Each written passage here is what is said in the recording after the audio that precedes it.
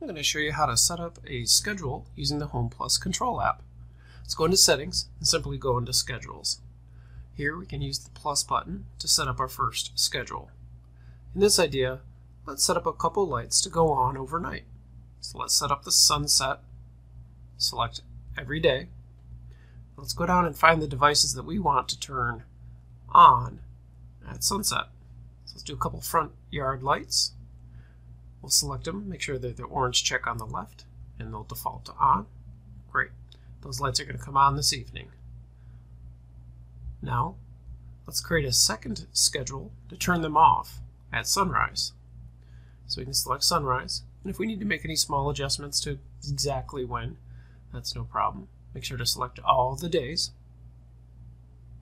We can go down to our same lights, make sure to select those lights, because this is the off, let's make sure that those are in the off position because we want the lights to turn off on sunrise. We're going to save that and then we can review our schedule. See, we've got the lights coming on in the evening and the lights going off in the morning. That's exactly what we want. We've set up our schedule.